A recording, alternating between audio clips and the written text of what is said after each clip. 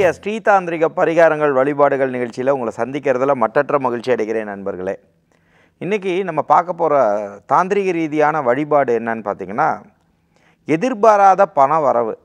எதிர்பாராத பண வரவுனா இப்போ நீங்கள் என்ன புரிஞ்சுக்கணுன்னா இப்போ நம்ம எல்லாத்துக்குமே கடந்த ஒரு ஒம்பது மாத காலங்கள் பத்து மாதமாக ஒரு அப்படியே நம்ம எல்லாருமே டேலண்டட் தான். இதில் நீங்கள் எந்த ராசியாக இருந்தாலும் எந்த நட்சத்திரமாக இருந்தாலும் எந்த லக்னமாக இருந்தாலும் எல்லாருமே திறமையானவங்க தான். பட் கால சுழற்சி காரணமாக அந்த நம்ம அந்த கொரோனாங்கிற ஒரு பெருந்தொற்றில் போய் மாட்டிக்கிட்டு நம்ம உயிர் பழைச்சதே இன்றைக்கி நம்ம பேசின்னு இருக்கோம் அப்படின்னாலே இந்த கடவுளுக்கு தான் நம்ம நன்றி சொல்லணும் இல்லையா? எத்தனையோ பேருக்கு இருக்கும்போது நம்ம கடவுள் நம்மளை ஏதோ ஒரு சாதிக்கிறதுக்காக நம்மளை வச்சுருக்காருங்கிறத அந்த ஒரு மனோதைரியத்தை தயவு செஞ்சு நீங்கள் எல்லாருமே வளர்த்துக்கணுங்கிறதுல இது என்னோடய தாழ்மையான வேண்டுகோளாக நினச்சிக்கிறேன். சரி இது இல்லை அது இல்லைன்னு இந்த டயத்தில் நீங்கள் ஃபீல் பண்ணுறதோட நம்மகிட்ட உயிர் இருக்குங்கிற சந்தோஷத்தில் நம்மலாம் ஒரு பாசிட்டிவாக நம்ம கிளம்புறது நல்ல ஒரு விஷயங்களை கொடுக்கும்.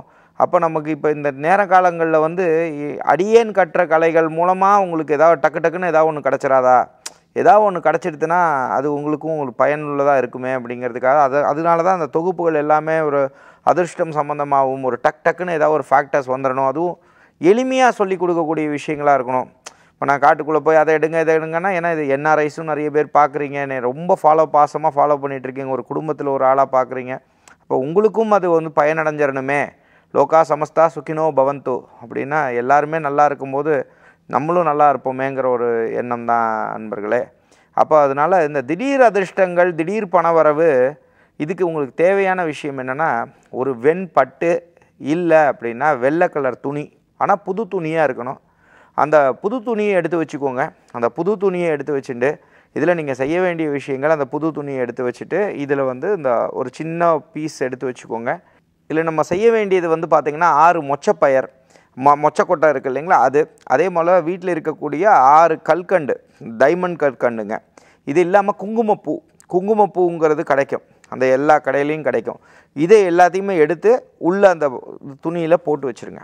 துணியில் போட்டு வச்சுட்டு இது எப்போ செய்யலாம்னா வெள்ளிக்கிழமைகளில் செய்யலாம்.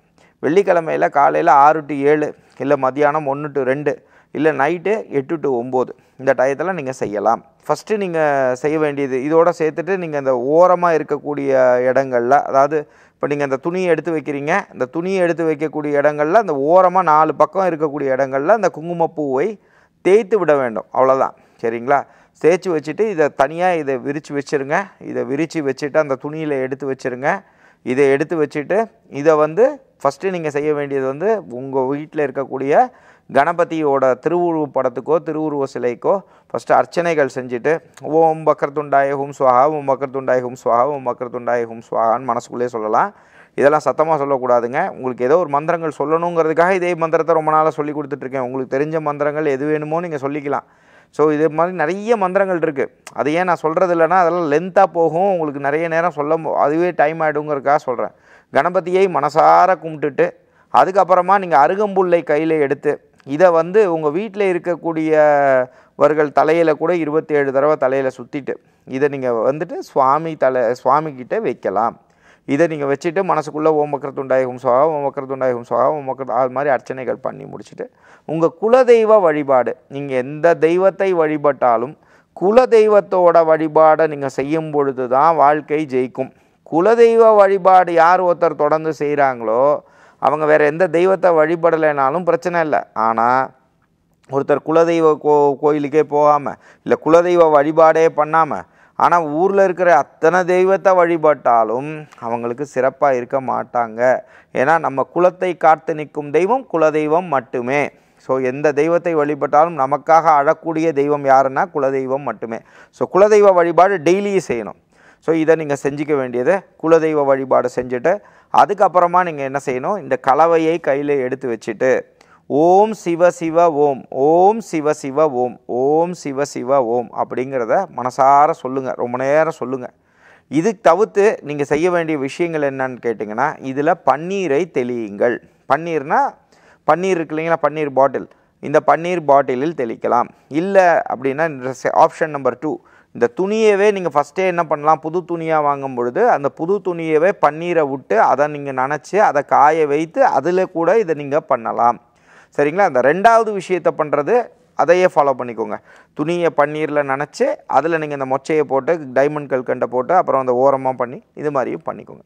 இதை நீங்கள் எடுத்துகிட்டு அந்த முடிச்சு போட்டுட்டு உங்கள் தலையை ஒரு இருபத்தி ஏழு தடவை சுற்றிட்டு இந்த தலையை இருபத்தேழு தடவை சுற்றிட்டுனா ஒரு உதாரணத்துக்கு சொல்கிறேன் இந்த பிரயோகம் வீட்டில் ரெண்டு பேர் இருக்கீங்க.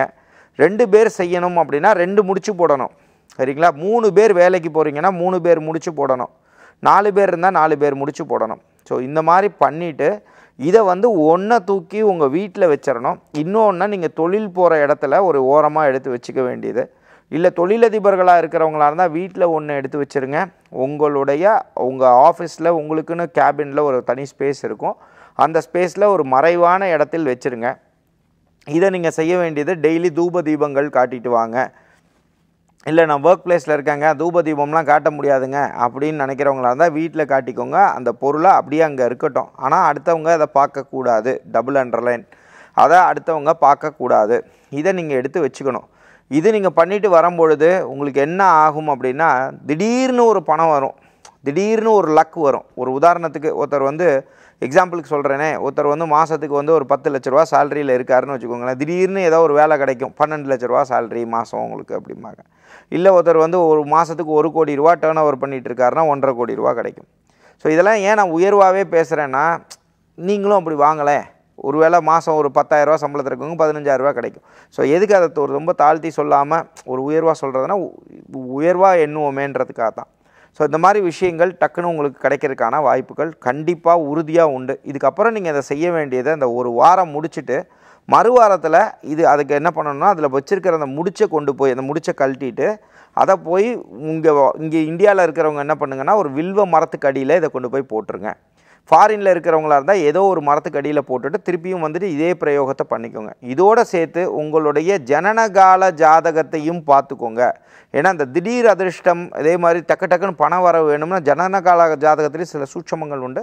அதையும் தெரிஞ்சுக்கணும்னு ஆசைப்பட்டீங்கன்னா பின்னாடி இருக்க நம்பர் காண்டாக்ட் பண்ணுங்கள் நம்ம பெய்ட் கன்சல்டேஷன்ஸ் பண்ணுறோம் நல்லபடியாக நம்ம அந்த வழிபாடுகளும் சொல்லித்தரோம். நாளைக்கு மற்றும் ஒரு தாந்திரிக பிரயோகத்துடன் உங்களை சந்திக்கும் வரை விடைபெறுவது உங்கள் விஜய் சேது நாராயணன். நன்றி வணக்கம்.